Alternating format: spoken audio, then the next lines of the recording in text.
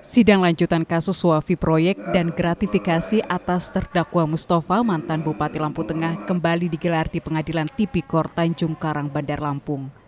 Sidang dengan agenda mendengarkan keterangan sejumlah saksi.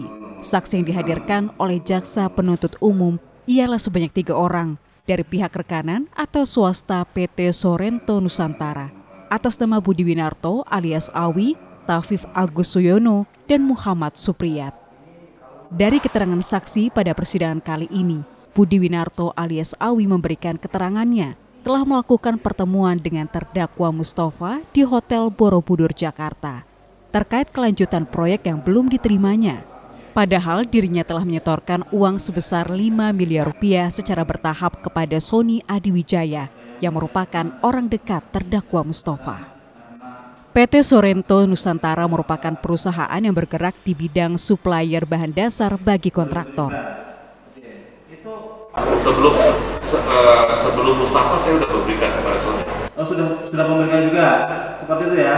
Baik, coba saudara jelaskan terkait pemberian saudara yang mulia. Itu saya bertahap pak. Iya. Saya juga nggak nggak ingat lagi ya tanggal-tanggalnya berapa ya.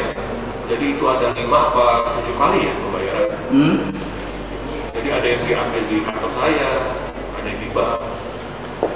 Sony itu menghubungi saya bahwa Pak Mustafa dengan saya. Makanya saya ber, ber, bersepakat bertemu di, di Jakarta di, di Hotel Borobudur. Oke. Jadi waktu lagi pertemuan itu, ya kan, eh, dia bilang kalau misalnya kata untuk urusan pekerjaan, hubungin aja dengan Pak Kepala Dinas ya. Oh gitu.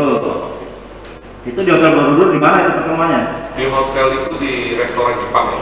Saya juga lupa juga namanya.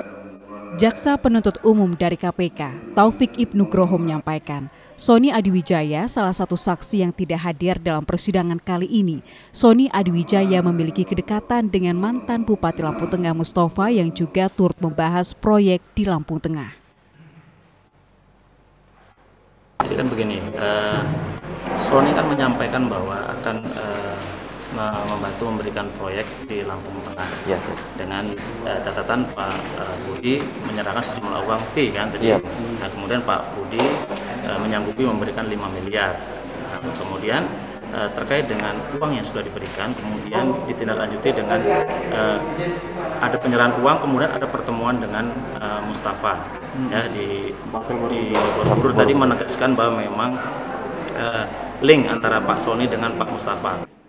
Dalam sidang yang digelar secara telekonferensi di ruang Garuda Pengadilan Tipikor Tanjung Karang Bandar Lampung ini, terdakwa Mustafa mantan Bupati Lampung Tengah hadir secara virtual dari Lapas Sukamiskin, Provinsi Jawa Barat. Roma Afria Idam, Kompas TV, Lampung.